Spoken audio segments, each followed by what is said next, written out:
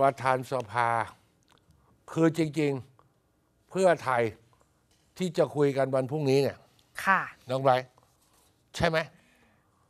คือมันต้องมอบให้เด็ดขาดเลย คือถ้ามีความคิดความเห็นเนี่ยอาเพื่อไทยต้องกล้าๆมันจะได้จบน้องไบรท์ค่ะ พรุ่งนี้นะพรุ่งนี้ประชุมใช่ไหม ใช่ สสกรรมการบริหารค่ะ คราวก่อนแค่อบรม ค่ะแสดงความคิดความเอาเห็นก่อนสัมมนาเดี๋ยวพรุ่งนี้ประอชุบมรมพักอ๋อไม่ได้เรียกว่าอบรมใช่ไหมอ๋อเป็นการสัมมนา ค่ะ คือ คือมันต้องบอกไปให้ชัดเลยว่าตกลงเพื่อไทยเอายังไง แล้วถ้าเกิดก้าวไกลเขาไม่ตกลง เอาให้ชัดไปเลยนะเดี๋ยวยื้อไปยื้อมาอีกบางใบค่ะ หรือยังไงท่านผู้ชมคิดเห็นกันยังไง แล้วก็กังวลตอนโหวตนั่นแหละ เพราะว่ามันเป็นโหวตลับใช่ไหมคะ เออ ตอนโหวตนั่นแหละ สมมติมติพักออกมาว่า อะ ให้ประธานสภากับทางก้าวไกลไป แต่เดี๋ยวพอวันโหวตจริง เพราะอย่างคุณประยุทธ์จิริพานิชเนี่ยก็บอกว่าผมก็ไม่มั่นใจเหมือนกันว่าว่าว่าว่าจะโหวตไปตามมติพักได้ทุกคนจริงหรือไม่ พร้อมจะป่วนเหรอ ไม่ใช่หมายถึงเขาพร้อมจะป่วนยังไง หมายถึงว่าพร้อมจะทำให้มติมันป่วนใช่ไหม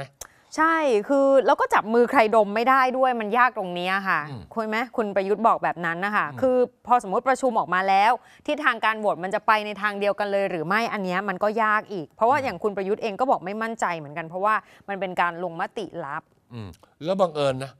เมื่อวันเสาร์อะค่ะท่านรัฐมนตรีสุชาติเอ่อท่านอดีตรองประธานสุชาติ ตันเจริญตันเจริญค่ะมารายงานตัวค่ะคือนักข่าวก็ต้องถามใช่ไหม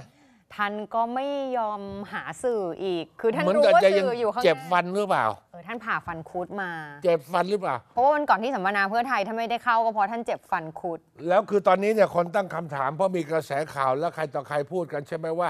พลังประชารัฐอาจจะเสนอคุณสุชาติเป็นประธานแข่ง ค่ะ แล้วถึงตอนนั้นเนี่ยโหวตแข่งยุ่งเลย ค่ะ เพราะมันก็ดูแนวโน้มได้เลยเนี่ยน้องใบร์ทค่ะ เพราะโหวตลับใช่ไหมใช่ กลายเป็นว่าผู้แทนของก้าวไกล กับคุณสุชาติแข่งกัน ถ้าเป็นหมอชลนานบอกว่าถ้าเสนอผม ผมถอน ค่ะ แล้วเชื่อว่าพักก็มีมติอย่างนั้น แต่ตัวคุณสุชาติต้องไปถามเอง พอไปถามเองจะถาม คุณพ่อมดดำไม่อยู่ให้ถามซะอีก ค่ะอาจจะมีธุระไหม ท่านลงด้านหลังเออ ไปรับเอกสารแล้วท่านก็ขึ้นรถกลับเลย ใช่ไหม ค่ะ ไม่ได้ออกอันนี้ด้านสำคัญหานะ ค่ะ ในส่วนก่อนจะถึงสว คือไอ้สวข้างหน้าเนี่ยยากอยู่แล้ว ขั้นตอนกระบวนการขั้นตอนขั้นตอนของสว แต่ขั้นตอนแรกประธานสภานี่แหละค่ะ พิสูจน์ให้เห็นเลยน้องไป ว่าจะเดินไปสู่จุดไหน วันอังคารพรุ่งนี้เพื่อไทยเรารู้ใช่ไหมก็ต้องค่ะแถลงใช่ไหมแถลงไหมว่ามติพักว่าอย่างไรใช่ไหมหรือคะแถลงแล้วจะเป็นการไปกดดันก้าวไกลนี่คิดเยอะไปหมดแล้วเนี่ย คิดเยอะใช่ไหมแถลงเกิดพักมีมติว่าเราจะเอา อืมเราไม่ให้ แล้วคุณภูมิธรรมกับหมออากับคุณประเสริฐที่ไปเจรจาไปบอกหลักการกับก้าวไกลขณะก้าวไกลขอบคุณแล้วอะค่ะคุณชัยนวัฒน์ขอบคุณแล้วที่บอกว่าหลักการพักอันดับหนึ่งจะได้ตำแหน่งประธานสภาไป แล้วพักอันดับสองได้รองประธานสภาสองตำแหน่งเพราะเสียงเราต่างกันไม่มาก ถ้ามติไม่ใช่อย่างนี้ คุณภูมิธรรมกับคุณประเสริฐก็ไม่มีหน้าไปเจรจาอ้าวถูกไหมล่ะเออค่ะ ก็เพิ่งไปบอกเขาว่าหลักการเป็นอย่างนี้ แล้วกลับมา เออ ที่ประชุมพักเพื่อไทยได้มีหลักการอีกประการหนึ่งเกิดขึ้น ใช่ไหมอืม มันก็ต้องเปลี่ยนคนคุยนะหรือค่ะ ว่ายังไง คือสองท่านก็โดนโจมตีอยู่ใช่ไหมคะ ประมาณว่าทำอะไรตามอำเภอใจไปประชุมกันเองไอ้ยไปไปไปตัดสินใจกันเองอะ เออ ใช่ไหมคะ เออ คุณประเสริฐ กับคุณภูมิธรรม การคนในพักเมืองเนี่ย ก็จะรู้สึกแบบนั้นลาวกับปูเค็มในตำมะม่วง มันกว่าจะจับออกมาฉีกแข้งฉีกขานะ เนี่ย ค่ะ การเมืองเนี่ย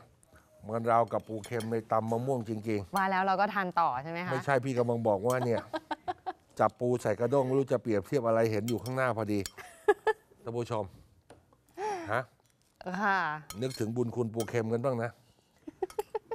ฮะเจ็บคอ เจ็บคอก็สักหนึ่งค